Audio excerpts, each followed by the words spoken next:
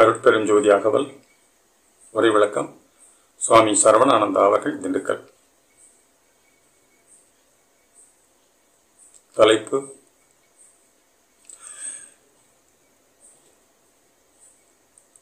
எண் தொண்ணூற்றி எட்டு உளம் திரியா அங்கை கனி. அருட்பெருஞ்சோதி அகவல் வரிகள் நூற்றி தொண்ணூற்றி ஐந்து நூற்றி தொண்ணூற்றி ஆறு.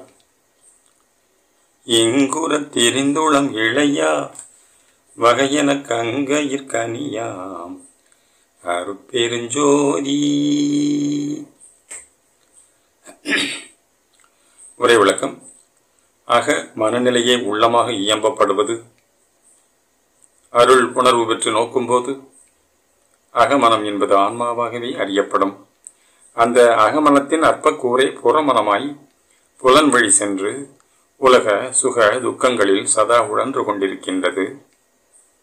இப்படி திரியும் மனமே மாசடைந்தும் திடமற்றும் இழைத்தும் போவதாம். உடல் வலிமையை விட மன வலிமை ஆற்றல் வாய்ந்தது. உடல் தோற்றத்தில் சிறியராய் இருந்தும் பெரியவர்களாலும் செயற்கரிய காரியத்தை செய்து முடிக்கும் திறம் உள்ள வலிமையின்பாற்படும். ஆகையால் உள்ளம் திடமாய் இருப்பது இன்றியமையாதது. உள்ளத்தில் அருள் ஒளி குடிகொண்டு வாழத் தொடங்கிவிட்டால் அதற்கு அழிவே உண்டாகாது. அப்போது அவ்வுள்ளொளியின் சேர்ப்பால் உயிருடம்பும் அழியாமை பெற்று விளங்கும். மனம் சலியாது உள்ளொளிமயமாகி நிவாத தீபம் போல் நிற்க வேண்டுமானால் திருவருள் சேர வேண்டும்.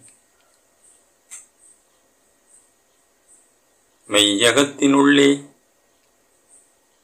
விளங்கும் மொழிகானில் கையகத்தின் நெல்லிக்கனி. அவை குரல் உள்ளொளியை கண்டுவிட்டால் மட்டும் போதாது. அதனை அருளால் அனுபவத்திற்கொண்டு வாழ வேண்டுவது அவசியம்.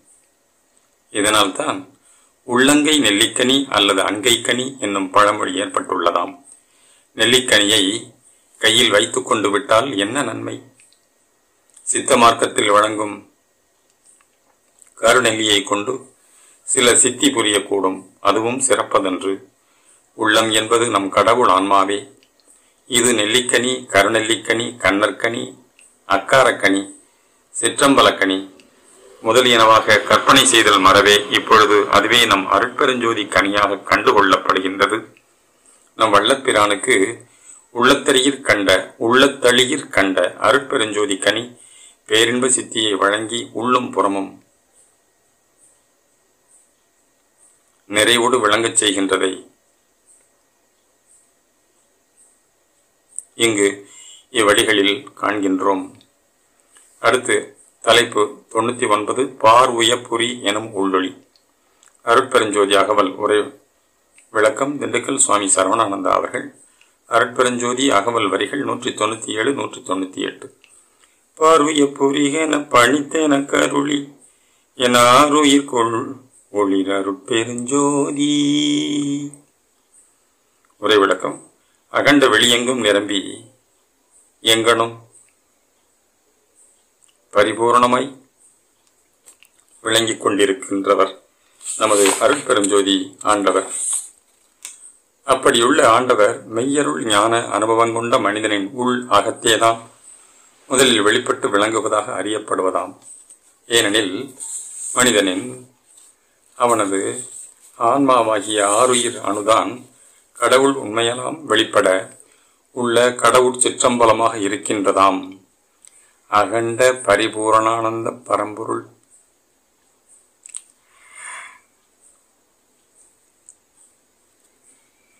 அந்த அகண்ட வடிவின் எந்த ஒரு சிற்றணுவிடத்தும் தன் பரிபூரண இயல்போடு முழுமையான தன்மையோடுதான் இருந்து கொண்டிருப்பினும் எந்த ஒரு குறிப்பிட்ட சிற்றணுத்துவ ஆன்மாவுக்கு மெய்ஞான பக்குவ மனித தேகம் ஏற்பட்டு அனுபவம் விளங்குகின்றதோ அங்குதான் வெளிப்பட்டிலங்குவதாக கொள்ளப்படும். நமது வள்ளப்பெருமான் நமது ஆறு இனன்கள் நிரம்பி பிரிவர உள்ள அருட்பெரும் ஜோதிபதியை ஓதாதி திருவருளால் உணர்ந்து கொண்டுள்ளார். ஓதி உணர்வதற்கு அரியவன் ஒப்புயர்வில்லா பரம்பொருள். இவ்வுண்மைதான் உலகில் நாம் உணர்ந்து ஓதற்கரியவன் என்ற வான் நிழல் மெய்மொழியாக அசரீரி வாக்காக சேக்கிழாருக்கு அகமும் புறமும் திருச்சிற்றம்பலத்தின்கண் வழங்கப்பட்டது. அவ்வருள் அடியே முதலாய்க் கொண்டு திருத்தொண்டர் புராணம் என்னும் பெரிய புராணத்தை ஆக்கி அளித்துள்ளார். உலகம் எத்தனை? எண்ணிலடங்கா உலகம் உள்ளனவாம். அத்தனையும் எப்படி கலையறிவால் ஓதி படித்து தெரிந்து கொள்ள முடியும்? முடியாதே. அவ்வுலகங்களையே தெரிந்து கொள்ள முடியாத போது அவற்றையெல்லாம் அளவில் காலம் விளக்கம் செய்து கொண்டு விளங்குகின்ற ஒரு பரம்பொருளை எப்படியும் அறிந்து கொள்ளல் கூடாதன்றோ? அப்படி அறிவறிய பரம்பொருளைத்தான் நம் ஆன்ம சிற்சபையில் அருள் ஞான உணர்வால் கண்டுகொள்ளக்கூடியதாய் இருக்கின்றதாம்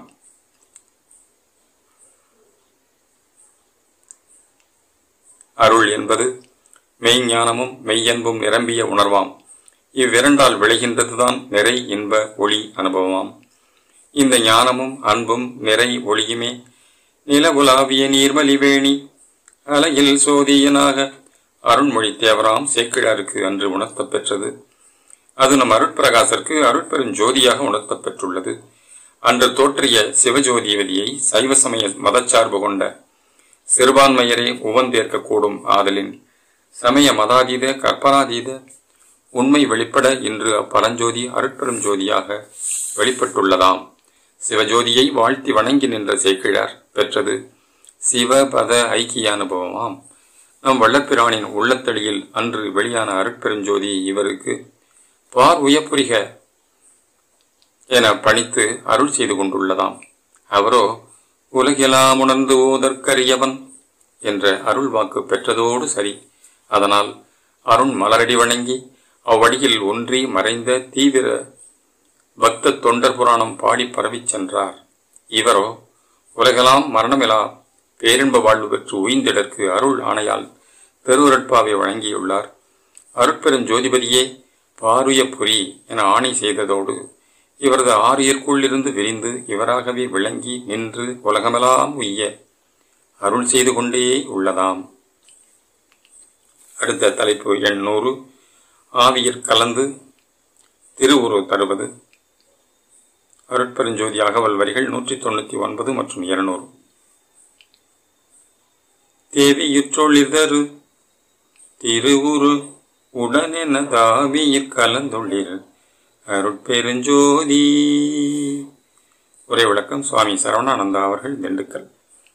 ஆவி என்பது தூலதேகம் அல்லது பரு உடற்கு உள் விளங்கும் உயிர் வடிவமாம். ஆன்ம அணுவினின்று உயிர் ஆற்றல் தோற்றி புற தேகத்தை ஆக்கிக் கொள்ளும் போது இடையில் ஒரு அனுபவ ஊடகப் பொருளாக அதாவது மீடியம் இருக்கின்றது. இந்த ஆவி வடிவம் சுருங்கவும் வெறியவும் அருஞ்செயல் சில புரியவும் தூல உடலுக்குட் பெருகி நின்று புற உடல் நீக்கமாகிய இறப்புக்கு பின் அவ்வடிவு போன்ற ஆவியுருவமாகவே வெளியாகி உலவிக் கொண்டிருப்பதாம். இந்த ஆவி வடிவம் ஒரு சிலருக்கு புலனாவதும் ஒரு சிலரில் உட்புகுந்து அன்னோரை தன் வண்ணமாய் சில காலம் விளங்கச் செய்து பின்னர் நீங்கி விடுவதும் உண்டாம். இவ்வாவி வடிவங்களை அதாவது கோஸ்ட் தெய்வீகத்தன்மை கொண்டனவாகவும் தெய்வமாகவும் கருதி போற்றி வழிபட்டு சிற்சில பயன் அடைந்துவிட்டு அருளியர் கடவுள் உண்மையை உள்ளபடி அறிந்து அடையாது வீண் போய்விடக்கூடாது அருட்பெருஞ்சோதி கடவுள் உண்மை கொண்ட ஆன்ம சிற்றணுவை அருளால் கண்டுகொள்ளாது. புறக்கண்களுக்கு தோற்றியும் தோற்றாத ஆவி வடிவத்தையும் தோற்ற முடியாத ஆன்மஜோதி கடவுள் உண்மை வடிவத்தையும் பலரும் பல பலவாக கற்பனை செய்து கொண்டும் பாவித்து கொண்டும் பயனுறாது போய்க் கொண்டுள்ளனர். தேக வடிவத்தையே பெரிதும் மதித்து மனிதனெனக் கொண்டு பிறப்பையும் இறப்பையும் வாழ்வையும் வரலாற்றையும் ஆய்ந்து ஏற்கின்றனர் பலர். முன்பின் பிறப்புகள் இல்லை என கூறிக்கொண்டு இருக்கின்றனர் பலர். வினைவழி வந்து வந்து சூழ்கின்ற பிறவிகளை எல்லாம் திருவருளால் நீக்கிக் கொண்டு கடவுட்கலப்பில் மேற்பிறவி ஒன்றும் எடாதிருத்தலே. திருவுள்ளம் என எண்ணுகின்றனர் பலர். சித்த மார்க்கத்தால் உள்ளுடம்பின் ஆற்றலை பெருக்கிக் கொண்டு அற்புத சித்திகள் பல புரிந்து அகமகிழ்ந்து இருக்கின்ற அற்புத சித்தர் பலராவர் இவர்களெல்லாம் நமது ஒன்றான உண்மையாம் அருட்பெரும் ஜோதி கடவுள் விளக்கத்தை உள்ளது உள்ளபடி அறியாதவர்களே ஆவர். அருட்பெருஞ்சோதி கடவுள் ஒருவரை உண்மையில் உள்ளவர். அந்த கடவுளின் சக்தி அல்லது தேவி என்பது எல்லாம் வல்ல தயவு அல்லது அருள் ஆகும். அந்த அருள் ஒளி கடவுள் எங்கும் இருந்தாலும் கூட பக்குவ மனிதனின் ஆன்ம அகமிருந்து அனகமுற விரிந்து ஆவி வடிவிலும் புறமேனியிலும் நிறைந்து பிரிவரக் கலந்து நின்று விளங்கும் போதுதான் பேரின்ப வாழ்வு பெரும் பயன் உண்டாகின்றதாம்.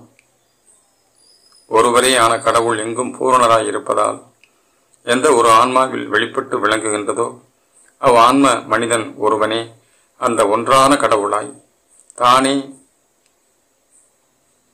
அந்த ஒன்றாய் எங்கெங்கும் இருந்து கொண்டு பலராய் திகழ்கின்றதாகவும் அறிகின்றான். அருள் ஒளியாம் தேவி உள்நின்று விரியும் போது அதனை சூழ்ந்துள்ள உயிருடம்பில் நிறைந்து அச்சூழ் வடிவை சுத்த சுகானந்த வடிவமாக விளங்கச் செய்து விடுகின்றதாம். இங்கு திரு உரு என்றது புற வடிவம். இது சுத்த பொன்மயமாய் திகழ்வது. இப்படி இந்த அசுத்த அனித்திய வடிவம் சுத்த நித்திய வடிவமாக மாறிடும் தருணம். இடை நின்ற ஆவி வடிவிலும் அருள் ஒளி நிரம்பியதால் அதுவே அருட்ஜோதி வடிவமாக பிரணவதேகமாக விளங்குவதாம். நம் ராமலிங்க அடிகளாரின் ஆன்ம அணுவில் விளங்கி நின்ற அருட்பெரும் ஜோதி கடவுட்சக்தி ஆவி வடிவில் கலந்த சமயம் அது. அதாவது அந்த ஆவி உருவம் தான் அருவுருவ சித்தி அருட்பிரகாச வடிவமாய் ஆகிவிட்டதாம். இந்த அருட்பிரகாச நிலை நின்றுதான் அகமிருக்கும் சிற்சபையையும் புறஞ்சூழ்ந்துள்ள போர்ச்சபையையும் தமக்கு சொந்தமாய் கொண்டு விளங்குகின்றது உண்மையாம். அருட்பெருஞ்சோதி அருட்பெருஞ்சோதி. தனிப்பெரும் கருணை அருட்பெரும் ஜோதி தயவு.